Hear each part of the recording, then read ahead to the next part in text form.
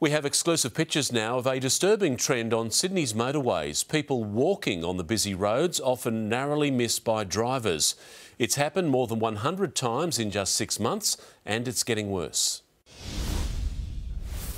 With a screen as big as a cinema's, This is the WestConnex control room, uh, and as you can see, uh, we, we're in here 24 hours a day, seven days a week. Transurban has eyes on every inch of its motorways. And if something happens in the tunnel, we will be able to react almost instantaneously. With an automatic detection system that picks up incidents like this. Here, a woman was spotted carrying, then walking her dog along a busy WestConnex on ramp. Stuck in traffic, bound for the airport, these people ditched their ride on the Eastern Distributor before lugging their luggage up to William Street. Past police and under a sign that says wrong way, this person strolls against traffic into the Cross City Tunnel as cars and trucks hurtle past, slowing and swerving out of the way.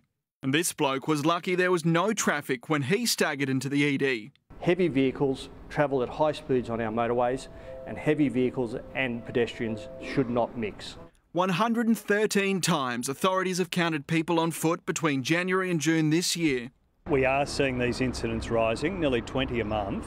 Uh, that's really concerning. Something could go horribly wrong. Not all incidents are caused by stupidity. Many are cases of confusion and breakdowns. Please stay in your vehicle, seatbelt on, put your hazard lights on, and we'll send an incident response crew to you. Tom Hartley, 7 News.